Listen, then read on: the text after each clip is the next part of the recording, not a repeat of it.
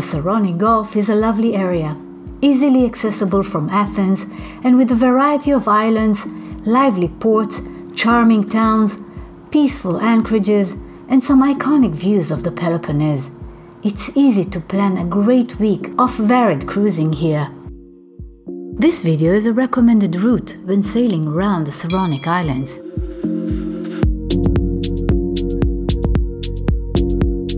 Day 1, you leave Alimos Marina or any other marina in Athens. When sailing west, you'll cross the traffic separation scheme for big ships. Look out and give way. In calm weather, you can anchor for lunch at Agia Marina.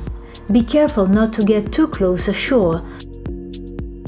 In northerly wind, you can anchor in one of the southern bays. After lunch, you'll sail about 4 miles to Perdika, Mediterranean mooring in a classic Greek town. Care is needed from the rocks in the inner part of the pier. Day 2, sailing south, passing Poros Island from the east side. Choose your spot to chill and have lunch in this magnificent base.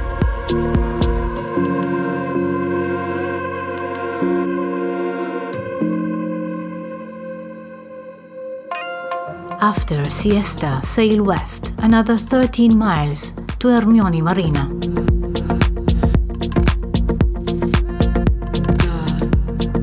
A nice quiet town in the Peloponnese. If there is no space, you can anchor in the bay. Day 3, you'll start your amazing day swimming and having breakfast in Dokos. Of course, only in calm weather.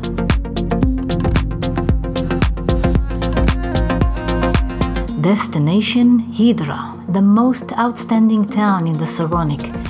In my point of view, but mooring is problematic, so be there early. Mediterranean mooring in the northern or southern platform.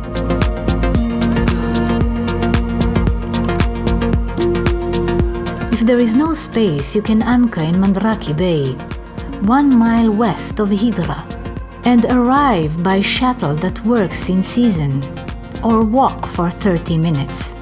If you've been to Hydra and feel like sailing away, try Spetses or Porto Cheli. Day 4. Sail 6 miles to Nissos Gali. Amazing anchorages around. Continue north for about 5 miles and enter the passage between Poros and the mainland. Beware of shallow area. In calm weather, you can moor on the north dock or on the floating dock.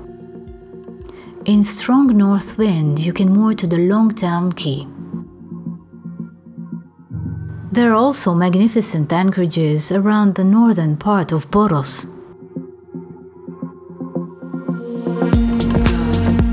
Day 5. You leave Poros from the west side from there, sail north, past Methana, and then west to Agistri.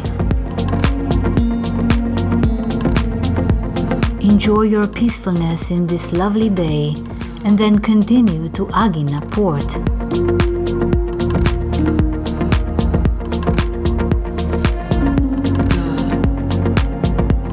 You can go stern to the town quay.